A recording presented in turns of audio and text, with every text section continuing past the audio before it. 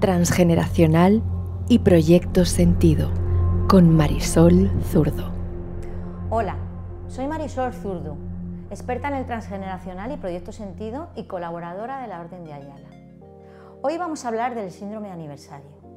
El síndrome aniversario es una memoria que se reactiva como una fuerza repetitiva que se transmite de generación en generación.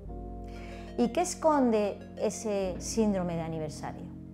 El síndrome de aniversario esconde un asunto no elaborado en ese clan familiar. Ese asunto no elaborado puede ser un duelo, algo, un secreto, vergüenzas que hay que ocultar y situaciones de mucho dolor y sufrimiento. Es una memoria inconsciente que se expresa a través de fechas y a través de edades. Se pueden repetir fechas, que ya llamaremos fechas de aniversario, como por ejemplo una madre que se casa a una fecha, la hija ¿eh? se puede casar en una fecha muy cercana a la boda de la madre o también al tratar con edades puede casarse a la misma edad que su madre. Yo he visto casos que se repiten en abuela, madre e hija, en tres generaciones se casan a una misma edad. Bien.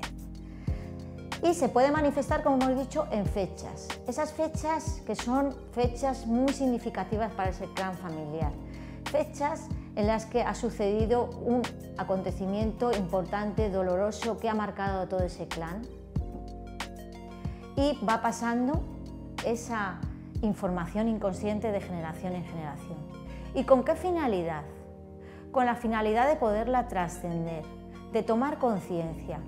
Con la toma de conciencia de que ese clan sigue repitiendo, quiere seguir manifestando ese hecho, ¿eh? con una finalidad también de supervivencia y de tener la oportunidad de que alguien del clan pueda dar otro enfoque vivir esa situación dolorosa de sufrimiento, de vergüenza, de secreto, desde otro prisma. Esa es la finalidad que tiene el síndrome de aniversario.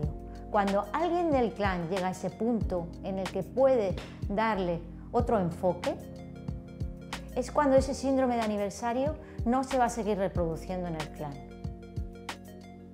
Para ello también podemos utilizar para poder trascender esos síndromes de aniversario, el acto simbólico del duelo, en el que hacemos entrega a ese clan familiar de ese momento que ha marcado a todo ese clan, ese momento doloroso y de sufrimiento, entregándolo, devolviéndolo para que las siguientes generaciones no vengan con ese condicionamiento de repetir, de seguir repitiendo manifestando ese síndrome de aniversario.